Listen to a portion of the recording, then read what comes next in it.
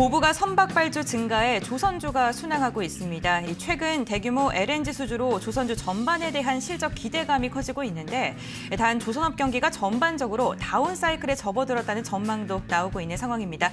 앞으로의 방향성 확인해 보겠습니다.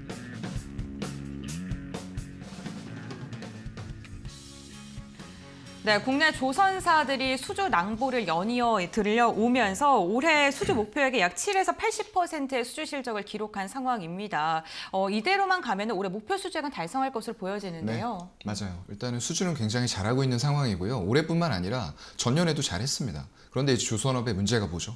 이게 수주 받은 게 재무제표로 찍히기까지 텀이 길다는 거예요. 그런데 벌써 저도 이제 그리포트를 봤는데 수주의 고점이 지나고 있다. 라는 네. 분석, 다운 사이클로 접어든다 라는 분석이 좀 나왔어요.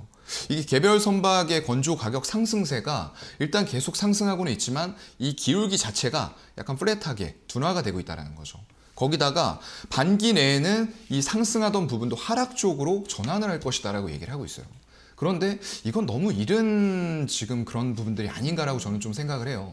아무리 주가가 기대감을 선반영하면서 올라간다라고 할지라도 이런 부분을 가지고 아직까지 재무제표의 숫자가 찍히지도 않은 카타르 이런 쪽들에서 수주받은 거 2년에 130척 받았거든요. 2년 전에요. 그런 것들이 찍히지도 않았는데 벌써부터 이런 우려를 피크아웃 우려를 요즘에 피크아웃에 대한 우려가 너무 과한 게 아닌가 라고 저는 좀 생각을 하고요. 네. 일단 각사 아까 어, 수주 실적 좀 잠깐 말씀해 주셨는데 대우조선의 양이 거의 60억 달러 수주했습니다. 올해 목표액이 91억 달러인데 그거 대비해서 거의 65에서 66% 정도 달성을 했고요. 18척을 수주를 했습니다.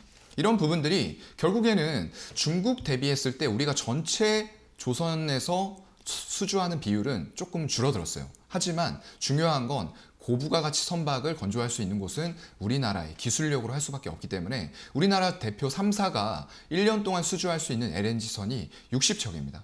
그래서 그런 과정에서 앞으로 카타르 수주뿐만 아니라 더 뒤쪽으로도 컨테이너선의 발주 의향도 있고요. 계속적인 LNG 안보 위기까지 지금 와 있어요. 에너지 안보 위기가 와 있는 상태이기 때문에 이런 발주들은 계속 지속이 될 수밖에 없다라고 저는 보고 있고 너무 피크아웃을 얘기하기에는 아직 빠르다. 라고 말씀을 좀 드리고 싶습니다.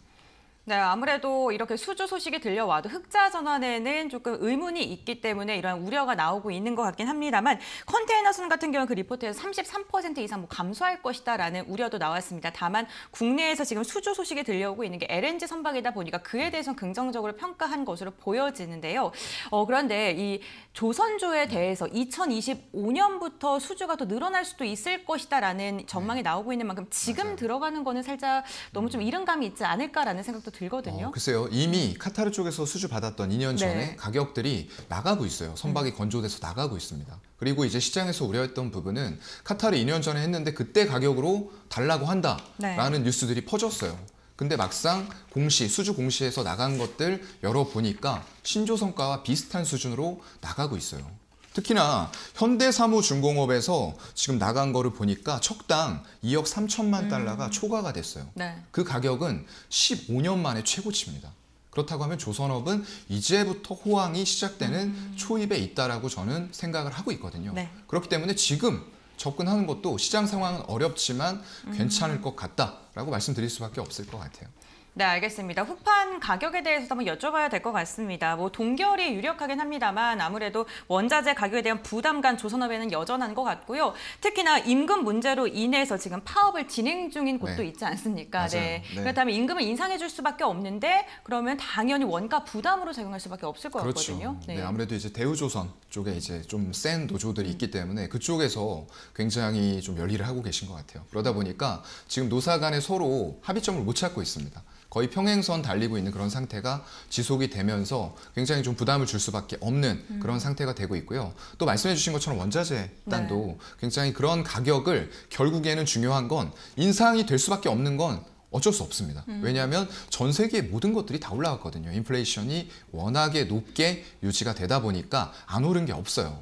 다만 이제 어, 결정적인 차이는 이 올라온 원가의 비용을 최종 소비자에게 전가할 수 있느냐. 네. 이런 부분들이 되는 거거든요. 그런데 지금 아까 말씀드렸던 대로 2년 전에 수주한 카타르 가격이 지금 나간 것들을 척당 보니까 그런 것들을 충분히 반영을 하고 있다라는 부분이에요. 그쪽에서도 워낙에 하이퍼 인플레이션이 지속이 되고 있기 때문에 이런 가격 인상을 인정할 수밖에 없는 환경이 만들어지고 있는 것 같아요.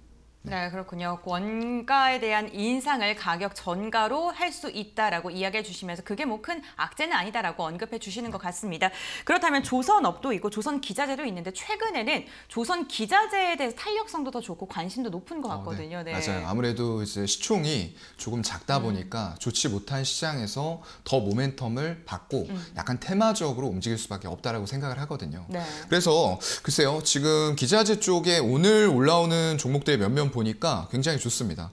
오늘 딱 이제 친환경하고 원자력하고 조선 기자재 그쪽들이거든요. 근데 올라오는 거 보면은 한국 카본 같은 것들은 제가 이제 좀 많이 소개를 해드렸고 동성화인텍 같이 본행제 쪽으로 하고 있어요. 이게 LNG에 끓는 점이 영하 163도입니다. 그렇기 때문에 화물창 내 온도를 유지하는 게 굉장히 중요하거든요. 그렇기 때문에 LNG선이 많이 나가면 당연히 이런 기업들은 실적이 같이 좋아질 수밖에 없다라는 부분들이고요. 그래서 한국카본 같은 경우에는 지금 시장이 안 좋았을 때도 52주 신고가를 경신하려는 모습들을 계속 보여주고 있는 그런 상황입니다. 거기다 밑쪽으로는 피팅이라던가 관 이음새 같은 쪽들이네요. 성광벤드라던가 태광, 디케이락 같은 종목들이 4에서 6%까지 움직이는 모습들 보여주고 있고요. HSD 엔진 같은 쪽도 선박 엔진 쪽으로 3.5%의 상승을 보여주면서 일단은 조금 가볍기 때문에 조선주가 좋아질 것이 자명하다라고 보면은 그 밑에 기자재들은 다양하게 공급을 할 수 있어요. 이 LNG 고부가 가치 선박뿐만 아니라 기존의 어떤 중국 쪽이라던가 이런 쪽으로도 공급이 가능하거든요. 그렇다 보니까 더 주목을 받고 탄력성이 좋을 수밖에 없는 것 같습니다. 네, 어, 당연히 시가총액이 작다 보니까 그만큼 변동성도 큰 것 같은데 네. 사실 조선 주가 뭐 이만큼 있다면 네. 조선 기자재는 더 이만큼 있다고 보면 어, 되잖아요. 그렇죠. 그렇기 때문에 개인 투자분들께서는 종목 선별에 더 네. 많은 어려움과 고심이 될 것 같거든요. 맞아요. 네, 네. 눈여겨보시고 계신 종목 있으세요? 글쎄요, 제가 지금 말씀드린 쪽만 보시는 게 좋을 것 같아요. 음. 그 이외에서는 약간의 어떤 수주를 받을 네. 수 있는 능력들이 될까? 좀 이런 의문들이 드는 네. 업체들이기 때문에 아까 말씀드린 보냉재 쪽에 한국카본 동성화인텍 네. 그리고 피팅 관 이음새 쪽에 성광벤드 태광 음. 디케이락 그리고 엔진 쪽에 HSD 엔진 네. 하나 빼먹었네요 세진중공업 아, 이거는 네. 선박에서 어떤 선원들 위주로 해서 어떤 공간을 꾸민다거나 이런 쪽에 집중이 되어 있거든요 그래서 같이 좋아질 수밖에 없을 것 같습니다. 네, 알겠습니다. 조선 기자재 쪽에서 조금 수주를 낼 수 있는 실적을 낼 수 있는 종목들 몇 가지를 언급해 주셨는데 이 부분도 함께 참고하시면서 투자 판단에 도움 되시길 바라겠습니다. 오늘 두 가지 이슈 함께 체크해 봤습니다. 교보증권 사양관 차장과는 여기서 인사 나눠보겠습니다. 오늘 말씀 감사드립니다. 네, 고맙습니다.